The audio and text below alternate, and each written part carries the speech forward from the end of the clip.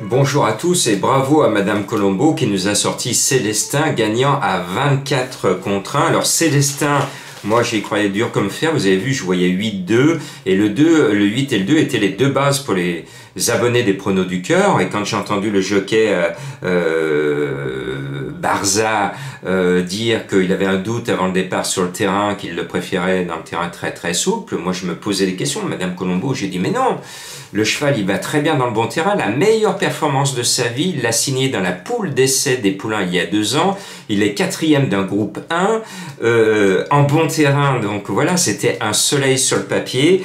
Et euh, heureusement, vous voyez le, 8 et le 2. Et puis, comme d'habitude, dans le quintet de galop, il y en a toujours un qui vous casse la baraque. Nord-Est qui est venu euh, se mettre au milieu. Alors j'ai le paquet du devant, j'ai le paquet derrière et paf au milieu, Nord-Est. Bon, c'est comme ça à 40 contre 1. C'est dur ces quintets. Allez, on fait la transition avec un quintet sur un hippodrome que j'aime bien, c'est à Cabourg, c'est l'été, c'est les vacances. Euh, eh bien, j'ai sorti ma baquette magique pour vous trouver un gagnant à 24 ou 25 contre 1, encore une fois, au lendemain de, de cette belle victoire de Célestin. Eh bien, euh, c'est le 4 Fée d'Hanover. Cette petite fée, elle me plaît, menée par le bourgeois, avec Provo qui en met deux et qui préfère ce 4. Eh bien, je me dis... Euh, qu'elle pourrait faire quelque chose de bien avec un driver qui était en réussite sur ce champ de course. Après, je lui oppose le 3 Forever Stone. Alors, je suis stone de lui parce que il est régulier, défend notre argent pratiquement tout le temps dans les trois premiers. Il part devant, c'est l'Okeneux qui est au sulky. Tous les feux sont au vert. Et puis derrière, la meilleure chance, c'est le 14 Falco du Douai. Il est doué, ce Falco. Euh, mené par Gélormini, eh bien, il devrait être en capacité de revenir des 25 mètres, même s'il y a une légende sur l'hippodrome de Cabourg qui nous dit que c'est difficile de rendre 25 mètres sur ce champ de course. En tout cas, derrière, c'est la meilleure chance. Et puis, il y a un deuxième sniper qui part derrière, c'est le 11 Falco des Rochers. C'est un pic, c'est un cap, c'est un roc. En tout cas, s'il trouve le passage et même s'il n'est pas déféré, ce 11 a une chance tout à fait euh, régulière d'être à l'arrivée. Et puis devant, il y a un cheval qui va être très joué, c'est le 7 écrin du Léon. C'est un, euh, un, petit joyau en ce moment. Euh, la plupart du temps, il est dans les trois. Il gagne de temps en temps. il trouve un bel engagement. Il devrait, normalement, cet écrin, nous montrer qu'il est un petit bijou et qu'il peut nous faire gagner des sous. En tout cas, il a la valeur nécessaire pour faire l'arrivée de ce quartet plus régional. Oui, parce que c'est un quartet plus régional. Ce n'est pas un quintet, puisque normalement c'était le grand national du trot qui devait nous être proposé euh, ce vendredi soir à, à Cabourg. Tel n'est pas le cas, puisqu'on est en pénurie de partants, avec des conditions de course qui sont tellement difficiles et tellement dures que finalement les entraîneurs n'ont pas engagé. Donc euh, je lance un appel aux dirigeants qui font les programmes allégez les conditions de course et vous ferez des partants. Et puis moi, j'ai la solution.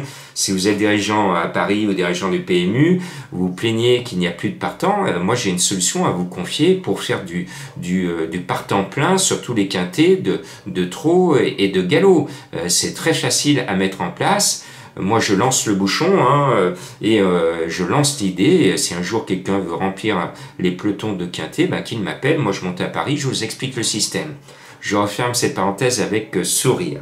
Bon, donc moi, euh, dans ce quartet plus régional euh, qui est devenu un quintet, je trouve que le numéro 10, Expeditious, peut mettre son grain de sel à l'arrivée parce que c'est le cheval de Madame Colombo.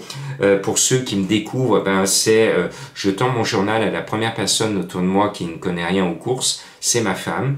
Et euh, tous les jours, elle me donne au hasard un cheval. Et c'est comme ça souvent qu'on rajoute sur nos tickets un cheval qui sur le papier n'a pas de chance et qui sur le terrain demandé à Célestin, gagne à 24 contre 1 ce jeudi. Donc voilà, comme quoi euh, la méthode de Jean-Marc de Madame Colombo euh, est assez régulièrement payante, pas tous les jours, mais quand euh, le cheval de Madame Colombo est là, il paye et il a payé ce jeudi. Et en plus, c'était ma base, c'était ma base. Ce Célestin, j'y croyais moi aussi. Le vendredi, elle vous propose un ticket euh, de 2 euros spéculatif. Elle vous donne 10, le 6, le 4, le 3 et le 2. J'en étais resté pour mon prono au 10 Expeditious, s'il me plaît, mené par Thomas, toujours en réussite à Cabourg. Devant le 8 Eshiro Dems, eh bien, c'est l'engagement de sa vie, à la limite du recul des 25 mètres à lui d'en profiter. Et puis je me dis, ça va être un Black Friday. Il va y avoir, euh, comme ce jeudi, un gros gros tocard euh, à l'arrivée qui va casser la baraque à tout le monde. La définition du tocard, ça s'est vu ce jeudi soir. Un tocard qui veut casser la baraque, il n'est pas cinquième, il n'est pas quatrième. Il est toujours 3-2-1 euh, pour casser tous les jeux de combinaison. Eh bien, je l'ai peut-être trouvé. J'espère l'avoir trouvé, ce tocard qui va briser la, la, baraque à beaucoup de personnes, c'est le 2 Fatal Gwen. Alors ceux qui vont l'oublier, ça va être fatal. Alors, vous allez me dire, mais Jean-Marc, pourquoi vous mettez un cheval qui est annoncé dans, euh, à 50 contre 1 et qui sur le papier n'a pas une bonne chance? Eh bien, tout simplement parce que euh, j'aime bien l'entraîneur Pereira et euh, que je l'ai vu réussir dans le passé régulièrement à Cabourg. Et je me dis, pourquoi pas, pourquoi pas euh, et n'oubliez pas qu'il y a un cheval qui s'appelle Ecossi que je n'ai pas mis dans ma sélection, qui était troisième de cette course l'année dernière à 73 contre 1.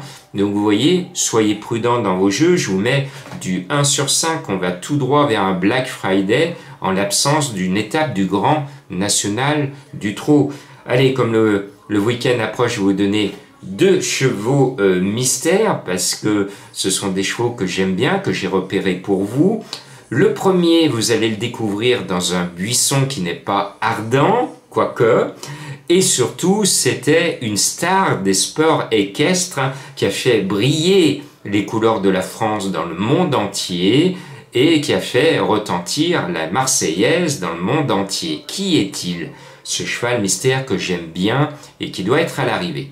Le deuxième, il est beaucoup plus difficile à toucher parce que c'est un cheval qui déçoit régulièrement, mais ça fait un moment que je veux vous le donner, je ne le donnais pas à juste raison parce qu'il n'a pas fait l'arrivée ces derniers temps, mais je me dis si son entraîneur insiste, c'est qu'à un moment, un jour ou l'autre, il va être à l'arrivée, alors je vous le donne, je me décide à vous donner ce cheval que j'ai repéré à cause de son nom qui est amusant.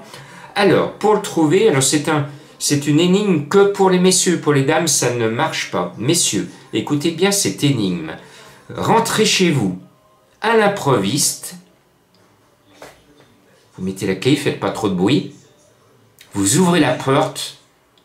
Et pour trouver mon cheval mystère, c'est pas compliqué. Il se cache dans le placard. Ah, le coquin. Allez, euh, bon feu d'artifice pour ceux qui vont euh, euh, faire le bal des pompiers le 14 juillet au soir. Bonnes vacances aux juilletistes et bon week-end à ceux qui vont essayer de faire une petite pause en jouant sur Cabourg.